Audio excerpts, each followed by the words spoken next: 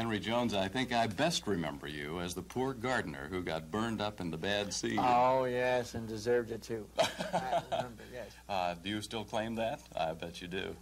Do I still claim that I should have been burned? No, no, no, no, no, no. Your performance. Uh, I, I think that was a fabulous movie. Well, it was, it was, it was fun. That was a good part. Strange, Yeah. weird part, but it was, it was fun.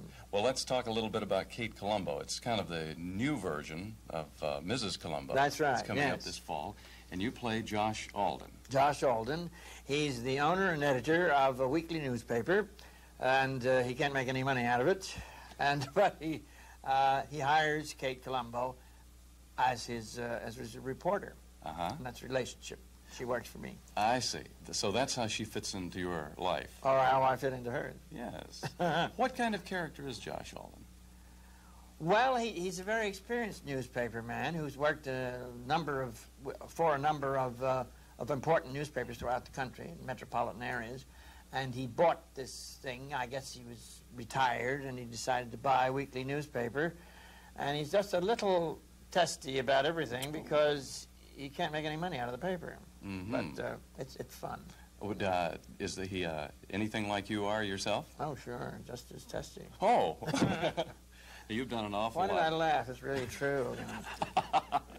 you have done an awful lot of stage work. I guess that was what you primarily Yes, have done. that's what I started with. Do you enjoy that more than uh, television, or is it that kind of apples and oranges? Well, uh, it's, it's, it's- I, they're very different, of course, even more different than apples and oranges. But uh, I enjoy anything if the part's good. You know, I, and I like to do, uh, I like to do pictures and I like to do stage, sure. And uh, and live television was a lot of fun when we had it.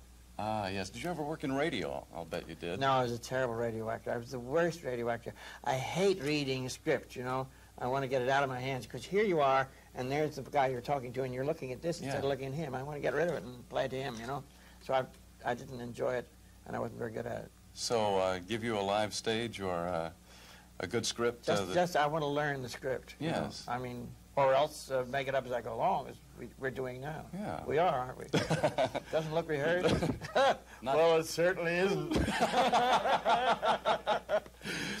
Henry Jones, thank you very much for being with us, and we'll look forward to seeing you and Kate Mulgrew in Thank you. Mrs. Columbo coming up on NBC and WSB. Thank you very Thank much. Thank you.